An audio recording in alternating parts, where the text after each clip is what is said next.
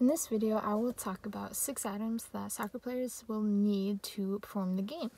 The first item is a soccer jersey, just like this one. It helps identify what team you're on. It's a light and stretchy and athletic material to play in. It definitely is needed for games and practices alike. The second item are these shorts. Um, soccer shorts are just, again, light and stretchy and athletic material so that soccer players can run and do all the physical activity that's needed. Um, they need, again, these for the games and practices. The third item are soccer cleats. Soccer cleats have spikes in the bottom to grip the ground while they're running. They typically have a flat surface on the front to kick the ball and strike it.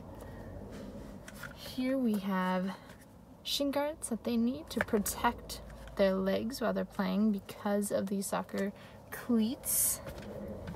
The, the thing that they need are soccer balls. Soccer balls are the item that they use to play with in soccer. Um, they look very similar to these, just in different sizes.